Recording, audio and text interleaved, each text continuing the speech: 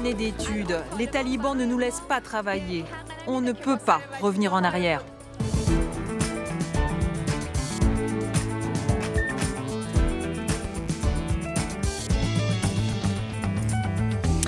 Une couverture mythique dans l'histoire de la presse féminine, unique dans l'histoire du L. Avril 2001, une femme ensevelie sous sa burqa, couleur sable, son visage mangé par le grillage qui la laisse respirer.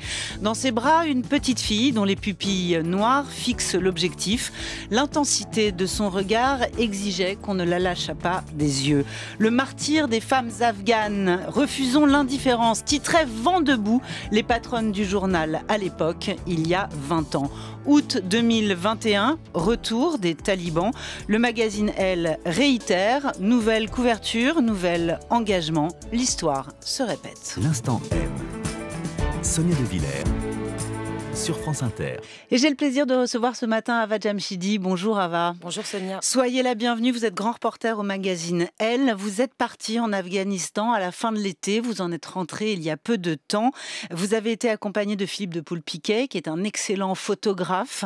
Euh, vous pourriez les décrire, les photos de Philippe de Poulpiquet? Alors la couverture mythique du magazine Elle en avril 2001, elle est signée alors, par un très très grand photographe qui s'appelle Stephen McCurry.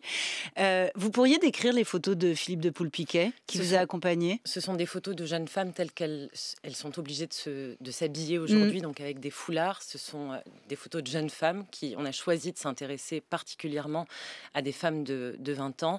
On les voit avec leur, leur visage et, euh, et ce voile qui littéralement mange tous leurs cheveux et les, et les recouvre. C'est ça. Et, ce sont des photos très simples, des photos très du quotidien. Voilà. C'est ça qu'on a voulu absolument. Euh, elles, sont sans, sans, sans, dramaturgie, sans lyrisme, sans artifice. Voilà, On a vraiment voulu les, les, les saisir telles qu'elles sont, telles qu'elles vivent aujourd'hui et telles qu'elles sont contraintes euh, de, de, se cacher aussi, même si euh, elles, elles ont souhaité euh, se montrer à visage plus, plus découvert et on a, on a un peu hésité. On a eu cette conversation aussi euh, avec elles. Pour pas les mettre en danger. Pour pas les mettre en, pour pas les mettre en danger. Ce qui a été vraiment saisissant dans ces, dans ces discussions qu'on a eues ensemble, c'est qu'elles nous ont dit qu'elles tenaient absolument à montrer leur, euh, leur visage, à faire entendre leur voix, la voix des femmes afghanes pour ne pas être effacées et que si on refusait de le faire, d'une certaine manière, on faisait le jeu des talibans. Hmm.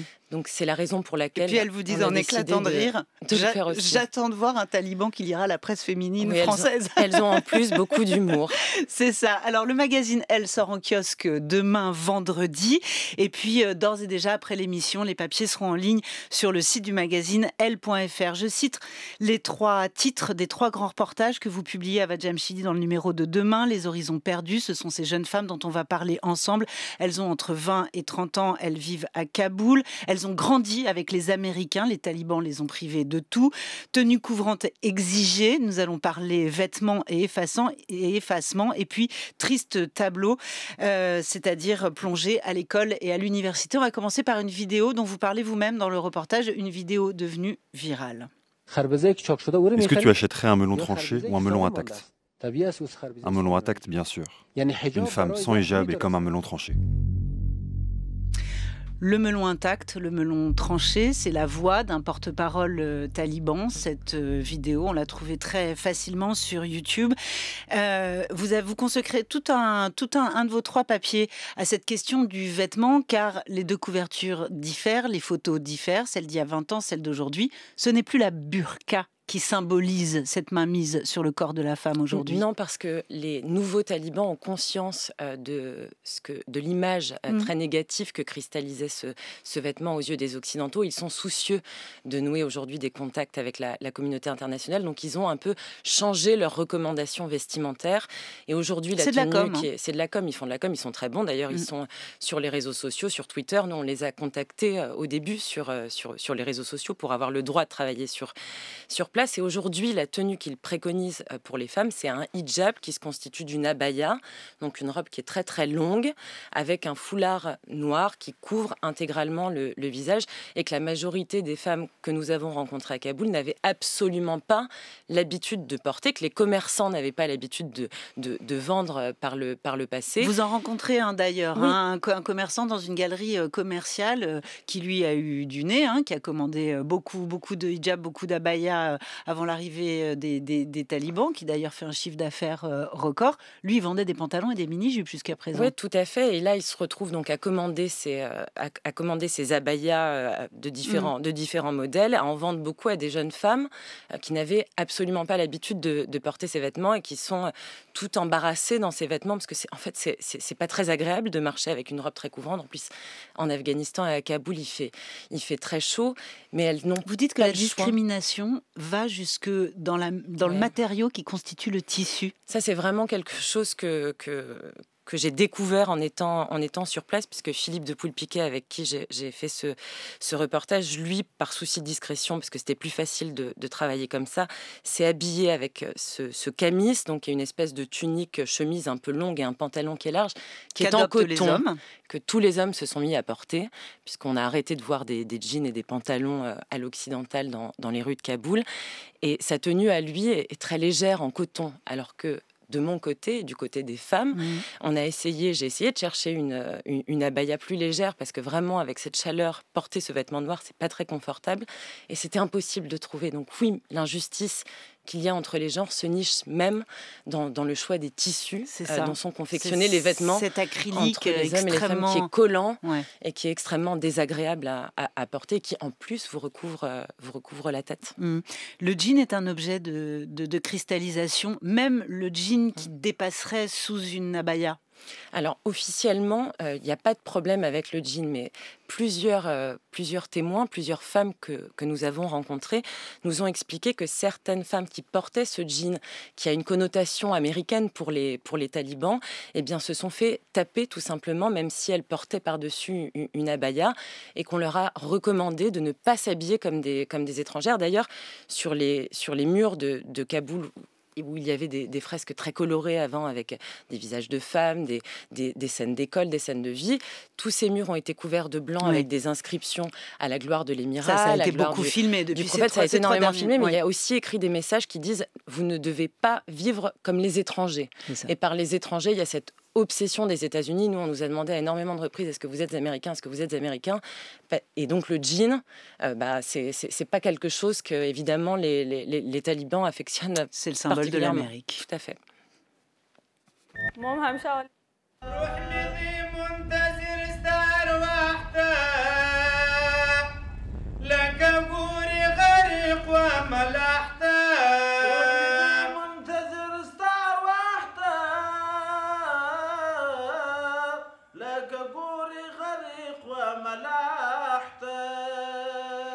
Là, on entend des chants religieux qu'affectionnent les talibans. Vous commencez par raconter à Vajamshidi que d'abord vous roulez des heures sans voir une femme, sans voir un visage de femme. C'est-à-dire que cet effacement physique, il est vraiment matériel, il est vraiment palpable dans l'espace. Et puis vous décrivez les sons, c'est-à-dire ces pick-up qui retransmettent euh, ces chants religieux. Vous dites que même les sonneries de téléphone portable ont changé. Oui, et nous, ça nous a beaucoup étonné quand on a passé la frontière, puisqu'on est arrivé par, euh, par le Pakistan. Le, le fixeur, donc l'homme qui nous fait office de guide pendant notre reportage, nous a tout de suite dit voilà, ce serait bien de changer euh, vos sonneries de téléphone portable, qu'elles soient le plus discrètes possible, parce que la musique est interdite. Et lors de ce, de ce trajet qui a duré entre la frontière mmh afghane et Kaboul quelques 7 heures, on a effectivement croisé des pick-up qui diffusent des taranas. Euh, donc, ce sont les, les, seuls chants en fait qui, qui, qui sont autorisés aujourd'hui et qui retranscrivent des, messages à la gloire de ce qui est devenu désormais le nouvel Émirat islamique d'Afghanistan. Voilà, alors vous avez euh, rencontré plusieurs euh, jeunes femmes, elles ont entre 20 et 30 ans. Vous les avez rencontrées dans un salon de coiffure, enfin un salon d'esthétique et de, coiffure. Vous les avez rencontrées euh, très libres, elles vous ont raconté leur histoire. Ce qui est très frappant c'est que elles parlent anglais, elles ont grandi avec les Américains, elles ont grandi avec la culture américaine, avec les films et les séries américaines. Donc euh, elles ont intégré ces codes-là jusqu'au bout des ongles. Oui, complètement. Et puis c'est pas évident non plus pour elles parce qu'elles viennent souvent de familles qui étaient très euh, conservatrices. Mm. Euh, la jeune femme qui qu'on a choisi de mettre à la une, Malalai, elle, elle, elle vient du, du, Nouristan, une région montagneuse du nord afghan. Sa maman a été mariée de force quand elle avait 11 ans. pour elle, adopter les codes occidentaux, ça a déjà été un, choc.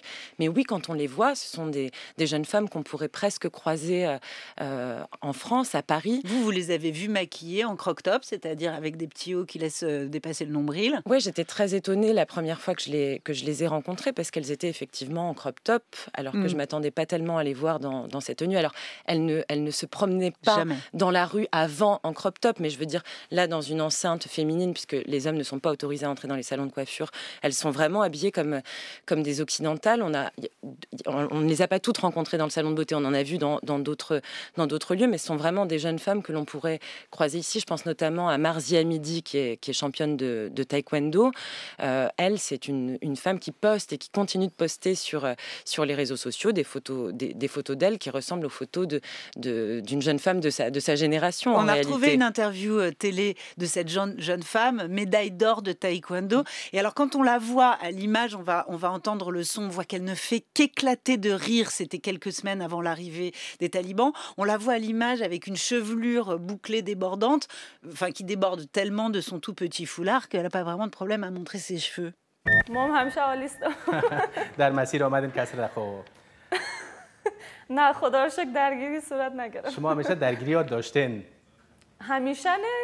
نه خدا رو شکر درگیری صورت نگرفت شما همیشه درگیری ها داشتین همیشه نه کم خیلی خب پسرایی که پرزپرانی میکنن به اونا چرا هم برخورد میکنن در جواب ابلهان خاموشی است آفرین خب مرزی امیدی Voilà, une vraie joie de vivre. Alors pour cette femme-là, le sport a été vraiment un outil et un vecteur d'émancipation. C'est comme pour beaucoup de femmes euh, afghanes. Euh, pour Malala et Machal, sa sœur, euh, ça a été les études. Alors sa mère a été mariée de force à un des oncles. Euh, il n'empêche que cet oncle a pris des risques et a été assez courageux en envoyant ses filles à Kaboul, vivre euh, comme on vit à Kaboul, c'est-à-dire de manière beaucoup plus émancipée, et leur a permis de faire des études. Oui, ils ont vraiment décidé d'embrasser les codes et les accès à la liberté, à l'éducation qui leur étaient offerts euh, d'une certaine manière par la présence étrangère, par la présence américaine, raison pour laquelle ces jeunes femmes se sentent aujourd'hui complètement trahies. Elles ressentent une forme de, rage parfois qu'elles expriment par rapport aux, aux Américains dont elles disent qu'ils ne nous ont pas seulement trahis, ils nous ont poignardés dans le dos. Et, certaines, c'était vraiment euh, troublant d'entendre ces, ces mots de leur part, disaient même, si c'était pour nous abandonner de la sorte à l'issue de 20 ans, est-ce que vraiment c'était utile de venir? Elles se sentent instrumentalisées. Mm. Elles ont l'impression que, le sort des femmes afghanes n'a été qu'un prétexte pour justifier euh, l'intervention militaire de, de, 2001.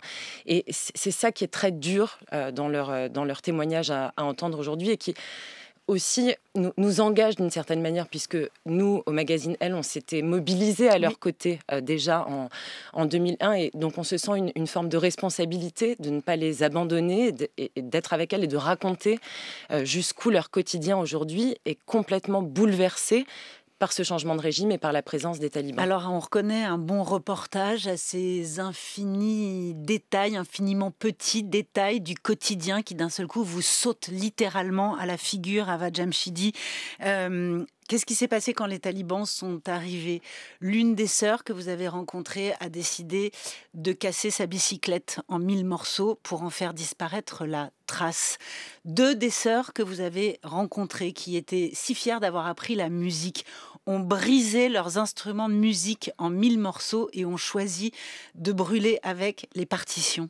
Oui, ça a été vraiment des, des moments qu'elles racontent encore à l'époque où on les voit, donc deux semaines plus tard des larmes dans les yeux parce qu'elles savent euh, les, menaces et les risques que la seule présence de ces objets qui peuvent nous sembler complètement anodins, un vélo euh, ou des instruments de musique, et elles n'ont pas senti d'autre option pour elles euh, que de tout brûler pour faire disparaître les traces de cette, de cette vie d'avant, avant de, de, prendre la fuite même et de quitter leur maison, puisque ce sont des, ce sont des jeunes femmes qui fréquentaient des établissements qui sont connus. Elles savent que les talibans euh, les, les, pourchassent aujourd'hui. Elles ont reçu des menaces.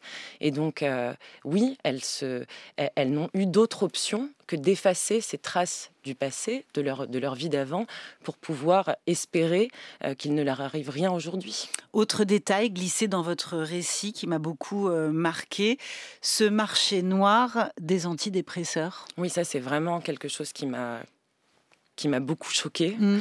euh, de, de, me rendre compte que malgré toute leur, leur combativité, leur dignité, leur courage, elles expliquaient que comme elles se sentent toutes, elles l'expriment différemment, mais qu'elles se sentent enterrées vivantes ou mourant à petit feu, parce que c'était des femmes actives qui travaillaient ou qui étudiaient, qui se retrouvent littéralement calfeutrées dans, dans leur maison, mmh. pour tenir elles n'ont d'autre option que de se procurer des, anxiolytiques et des, et des, et des antidépresseurs parce qu'elles n'y elles, arrivent pas, elles se sentent complètement piégées, les frontières sont fermées, il n'y a pas de vol, elles n'ont pas de visa. Donc c'est à qui mettra la main sur des cachetons? Oui, c'est ça qu'elles qu'elle cherchent. Et dans les pharmacies, il y a vraiment une, une espèce de marché noir, vous l'avez dit, pour, que, pour pouvoir euh, leur permettre de se procurer ces, ces comprimés pour qu'elles tiennent Mm. mentalement. Mm. Et il y a vraiment dans les échanges que je continue d'avoir avec, euh, avec les unes et les autres, il y a, ce qu'elles pointent en premier, c'est vraiment leur état psychologique. Quoi. Elles, expliquent que pour, elles ont l'impression de devenir folles.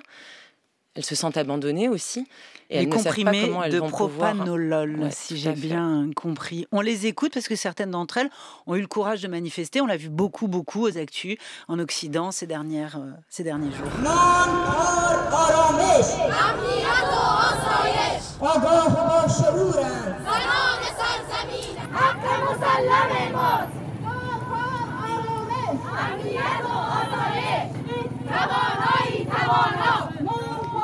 Mardi à midi, championne euh, de taekwondo dont on a entendu la voix tout à l'heure et dont vous nous avez parlé à euh, Vajamshidi que vous avez rencontré pour ces, ces, trois reportages que vous publiez dans le L qui sortira demain en kiosque, vous dit attention, la mentalité d'une partie des Afghans coïncide parfaitement avec le dogme taliban. Et elle, elle dit qu'elle a été obligée d'arrêter de s'entraîner parce que évidemment elle ne peut pas s'entraîner en burqa, vous l'avez dit, euh, mais parce qu'elle elle commençait déjà sur les réseaux sociaux à recevoir des pluies de menaces. Oui, en, fait, et d'insultes. Au, fil de la progression des talibans, il y a eu déjà des, quelques répercussions dans, dans la vie de ces, de, ces Afghanes qui ont, avant même qu'ils ne prennent Kaboul, dû prendre euh, des mesures comme cesser d'aller euh, cesser d'aller à, l'entraînement. Il y a effectivement cette euh, c'est une société conservatrice l'Afghanistan, mais dans cette société conservatrice, il y a aussi des femmes et des hommes pas uniquement des femmes, qui ont décidé mm. euh, d'embrasser les codes qui leur étaient euh, mm. proposés par euh, les Occidentaux qui ont mené cette intervention militaire en Et Marzieh Amadi fait partie de celles qui vont manifester. Elle va manifester. Malalaï aussi se, se, rend manifester parce qu'elles disent que de toute façon, elles sont déjà mortes, elles enfermées chez elles. elles plus rien à et donc elles n'ont plus rien à perdre. Et elles se disent aussi que dans ce moment où les talibans sont en train de prendre le pouvoir, peut-être que de faire entendre comme elles le peuvent le son de leur voix et de demander le, le droit de travailler, peut-être qu'elles obtiendront plus euh, de, possibilités de, travailler ou d'étudier que l'Afghanistan des talibans d'aujourd'hui soit un peu plus évolué, espère-t-elle, que celui des, talibans d'hier. Merci beaucoup, Ava Jamshidi. Je rappelle que vos papiers sont illustrés par les photos de Philippe de Poulpiquet. On les a dit, ces photos, elles, sont, extraordinaires. Elles sont,